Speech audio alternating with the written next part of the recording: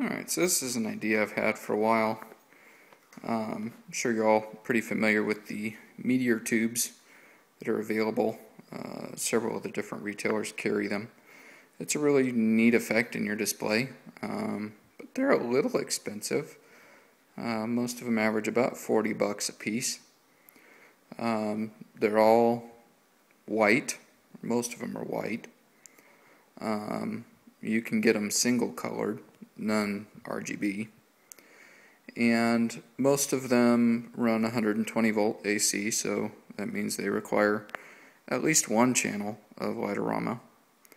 And they're not really timeable. I mean, not exact anyway. You can kind of figure out what the delay is from the time you fire it until they fire, but you'll never get them all exactly in unison, and you'll never be able to precisely trigger when the timing is.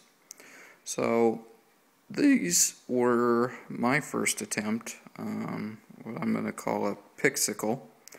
These are made with intelligent RGB pixel strip, uh, similar to like a CCR. These are a 2801 strip that I ordered out of China.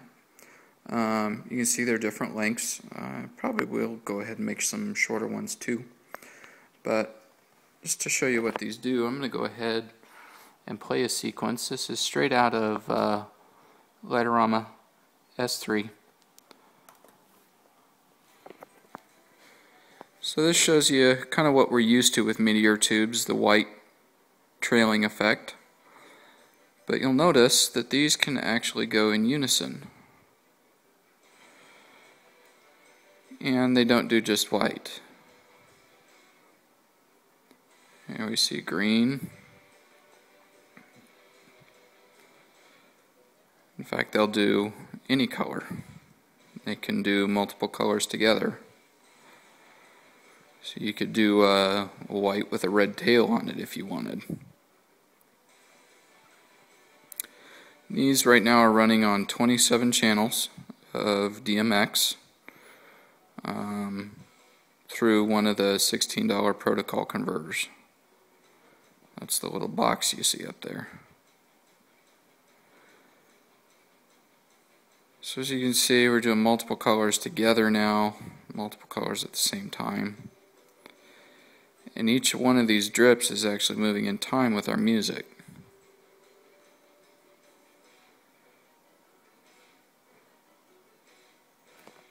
Again, none of those are things you're going to get with a regular meteor tube.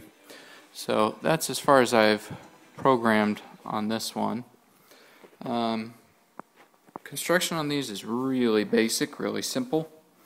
All I did was take a piece of half inch PVC, put a cap on this end, ran my digital strip up, and I got a pair of pigtails at the top, one coming in, one going out. Um,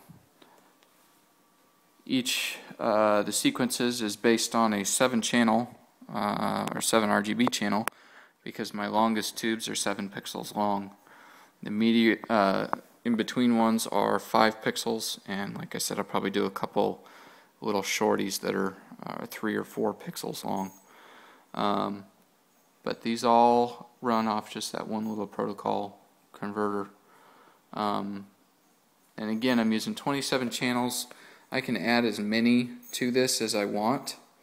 Um, what I'm doing is actually running three sets of seven channels and then duplicating them over because the pixel strip always recognizes the first pixel in the run uh, as channel 1. So here you see coming out of the protocol converter, I'm going to my first uh, tube with seven channels in it, and then I'm coming off of that through an extension, and I'm coming down to this tube over here. So that means this tube and this tube will run together.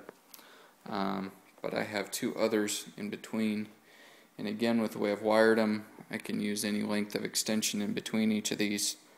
Um, they can be run close together, like you're seeing them here, or you know, 25 feet apart if I wanted them to to be that way. So that's it. That's my newest little project, uh, trying to design or come up with something that I can use these protocol converters for. And a simple project with some pixels um, just to, to try something different.